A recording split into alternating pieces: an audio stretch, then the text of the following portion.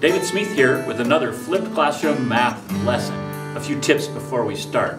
First, remember that you can speed up or slow down the playback if that helps you follow along. Second, you can turn the captions on and read my words on the screen. Third, you can pause the video at any time to catch up with your notes or write down questions for class. Okay, we've been playing around with this new tool, the chi-square analysis, and we're finding that it does what we need to do so that we can measure how weird something is. If it's either like a fair coin or not a fair coin or things like that. And we're going to later we're going to take that and generalize that to situations involving people, not just coins and dice. So let's take a look. Um, to summarize, we came here by looking at two different ways of measuring how different something might be. One was the numeric difference, like how many heads away are we from what we would expect to flip for a coin flip. That's the numeric difference. And then we also looked at percent difference, like what percentage off is that from what we would expect. And we found out that those two tools by themselves really don't do a good job because, and this is the key point, sample size is also very important. So the numeric difference for a small sample size has a much bigger effect than a numeric difference for a very large sample size. So we're going to start by looking at numeric difference with the chi-square calculation and take a look at how that works. Okay? So two situations. I've got 25 heads in 30 flips. Okay? You could get that. And then 510 heads in 1,000 flips. And yeah, you could get that too. Okay, so let's take a look. I filled in my table and I did my chi-square calc. So observed, expected, all my numbers. Here's my chi-square calc. You've actually done this calculation already, but I'm just summarizing it here. And for this situation, our chi-square is 13.3. And you're going to come to know that's a really high chi-square. Second situation, 510 heads in 1,000 flips. Again, my table showing my observed expecteds and my chi-square calculation. And this one comes out to be actually pretty low, 0.4. Now here's the thing. The numeric difference in both of these is 10. Okay? This is 10 away from what's expected, and this is also 10 away for what's expected. But intuitively, you should be able to see that this result is much more difficult to get. 25 heads and 30 flips, that's going to be pretty hard to get. It's 10 off, but much harder to get than 510 heads in 1,000 flips. Much easier to flip this one. So the chi-square should be lower for this one than for that one, and indeed that's true. Big, low. And here's the reason. It's taking into account sample size.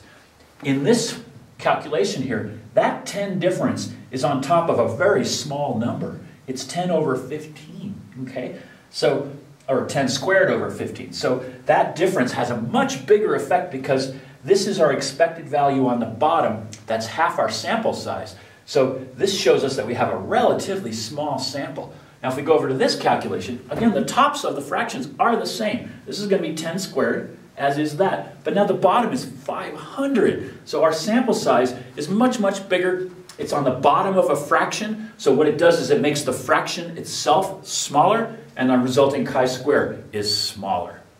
So this shows you how sample size is accounted for in this calculation. Because otherwise, these two scenarios are the same amount of difference, just 10 off from what's expected. But the chi-square calc actually takes that into account and gives us a big number for the one that we'd be more suspicious of than the one that we'd be more likely to accept as fair.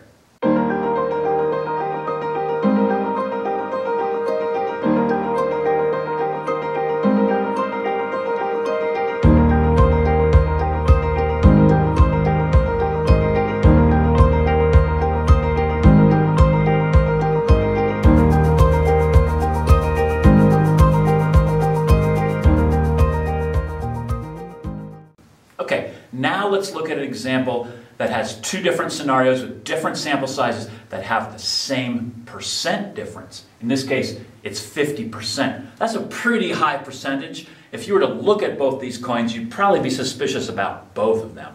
However, we can make our point with that even so. So our first situation, five heads in 20 flips. So that's five heads, that means 15 tails. We expected to get 10 heads, So the way I'm calculating percent difference is I'm just saying that's 50% less than it should have been.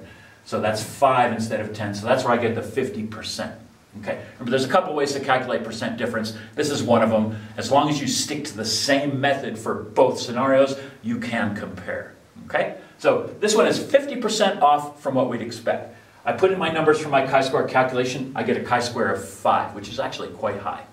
Now let's take a look at this one here. I've got 125 heads in 500 flips. So in 500 flips, we would expect to get half heads, which would be 250 heads. We only got half of that. We got 125. So again, this is a 50% difference in this table as well. So I've filled out my table. I've done my chi-square calculation. And oh my God, this is the biggest chi-square we've seen yet in class. That's 125. Just to know, you could probably say for almost certainty, this is a rigged coin. With that kind of a chi-square, you're going to come to know that. Okay, but let's stick with the point here. So, same percentage difference in both scenarios. But it's probably easy to imagine getting five heads out of 20. I mean, it's not likely, but it's pretty possible. You could get that. So, this situation is a lot less suspicious than this one. Getting 125 heads in 500 flips with a fair coin is just going to be super difficult the long term average is going to be really close to the theoretical probability. The more flips you do, the more chances you give the whole picture to come to that long term average. So to be at 125 when you should be at 250, that's pretty hard to do. And guess what? Our chi-square shows a nice big number, certainly much bigger than this one. Okay? So check it out. I have the same percentage difference. Okay? By using this method alone, these would be equally weird. Obviously, they're not, and the chi-square calculations takes that into account. The one that's less weird has a much lower chi-square value than the one that's quite a bit more weird. And check it out. Sample size is what causes that. I have a relatively small number at the bottom of my fraction here, so whatever goes on on top, it's only going to get divided by 10. It's a difference of, of 5 here, okay? So bump, bump. Now, on this one, the, uh, the bottom of the fraction is 250. So much bigger number to divide into the top one. So sample size is having an effect on this equation as well. Okay, that last explanation was just a little bit incomplete, so I recorded this little bit to add in there to make it a little bit better. We were talking about sample size and the effect on the chi-square calculation. And so really, yes, the bottom of the fraction is bigger, but a bigger bottom of a fraction makes the overall fraction smaller, but we need a bigger chi-square for this one because it's a little bit more weird. 125 out of 500, just hard to get. So here's why this ends up in such a big number. The top part also includes sample size. These are big numbers. This is going to be negative 125 squared. So we're squaring the numeric difference on the top. That makes the top grow really fast so that the whole fraction is going to grow really fast. So that was when we had our chi-square over here of 125. That's the biggest cause of getting a ginormous chi-square when you have a, a bigger difference on the top for a large sample size. Okay, let's wrap this up. So chi-square accounts for numeric difference, and that's this little bit up here, that's right there in our calculation, that's the numeric difference. It accounts for a percentage difference, which is embodied by the whole fraction. You're dividing the numeric difference by the expected value. This is kind of like a percent type calculation. So it's accounting for the percentage difference. And it also accounts for sample size. The bigger the sample size, the bigger the number on the bottom of the fraction.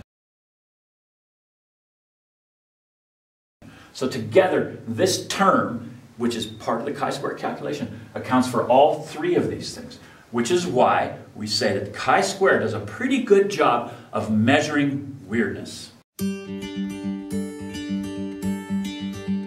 Now that you've finished the video, take a moment and jot down some notes or questions for our next class.